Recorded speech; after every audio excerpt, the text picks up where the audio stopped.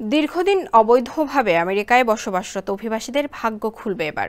এই অভিবাসীদের সুসংবাদ দিল বাইডেন প্রশাসন। হোয়াইট হাউস সূত্র বলছে, অভিবাসী সংকট সমাধানে মার্কিন প্রশাসন একটি নীতিগত বিকল্প পথ খুঁজছে দীর্ঘদিন ধরে। এবার তার সমাধান হতে যাচ্ছে। সেই সাথে ভঙ্গুর অভিবাসন ব্যবস্থাকে ঠেলে সাজাবে বাইডেন প্রশাসন। হোয়াইট হাউস জানায়, যারা কমপক্ষে দশ বছর আমেরিকায় রয়েছেন, তাদের জন্য বিশেষ ছাড় দেবে দেশটি। বৈধভাবে যুক্তরাষ্ট্রে কাজ করার অনুমতি পাবেন তারা। তবে কীভাবে এই প্রক্রিয়া সম্পূর্ণ হবে তা এখনও পরিষ্কার করেনি বাইডেন প্রশাসন। নির্বাচনে আবারও জয়ী হতে বাইডেনের এই সিদ্ধান্তকে একটি বড় কৌশল হিসেবে দেখছেন রাজনৈতিক বিশ্লেষকরা। বিস্তারিত মামুদ সোহেলের রিপোর্টে।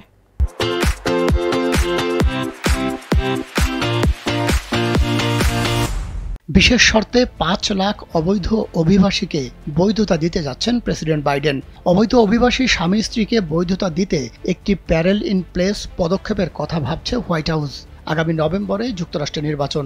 তার আগেই হঠাৎ করে বাইডেনের এমন সিদ্ধান্তে নড়ে চড়ে বসেছে যুক্তরাষ্ট্রের বিরোধী রাজনৈতিক মহল। তবে কি শর্তে অভিবাসীদের স্থায়ী বসবাসের অনুমতি মিলবে তা নিয়ে নানা মহলে চলছে জোর বিশ্লেষণ।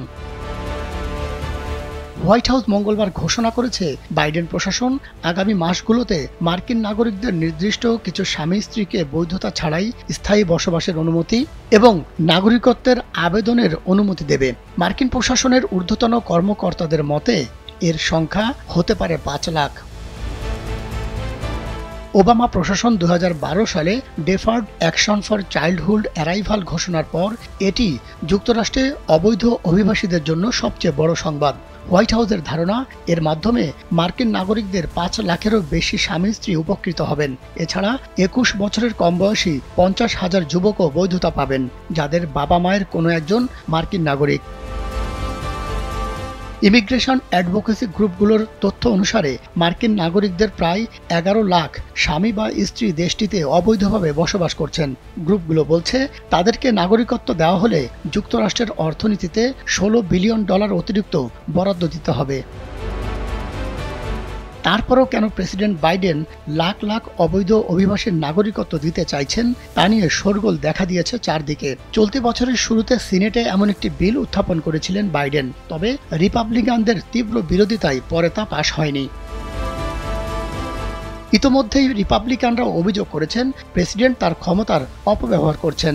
নভেম্বরে আসন্ন নির্বাচনের সুবিধা পেতে বাইডেন এটি করছে বলেও অভিযোগ তুলেছেন বিরোধী সিনেটররা।